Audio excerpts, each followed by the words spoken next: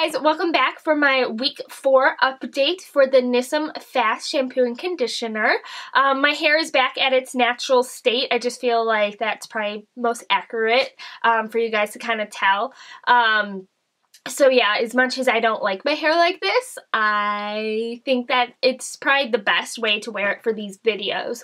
So with that being said, let's go into the clip where my hair is being measured and you guys could see if my hair has grown at all.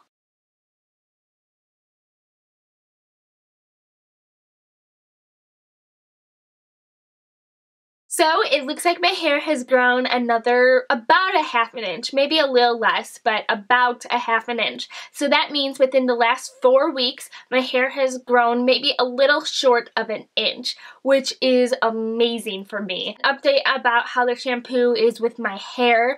Um, I do notice my hair getting greasy like my second day. Um, I am trying to wash my hair every single day, but before this, I never used to wash my hair every single day.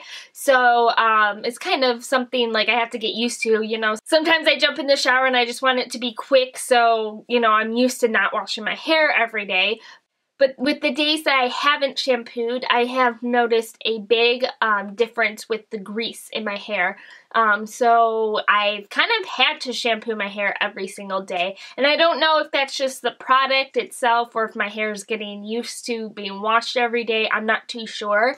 Um, and then with the conditioner, my ends have been getting a little bit dry. So I use the conditioner, but then I also use a heavier conditioner um, some days just to kind of give my hair some extra moisture. So I'm still going to be using this shampoo and I will see you in two weeks for the six week update.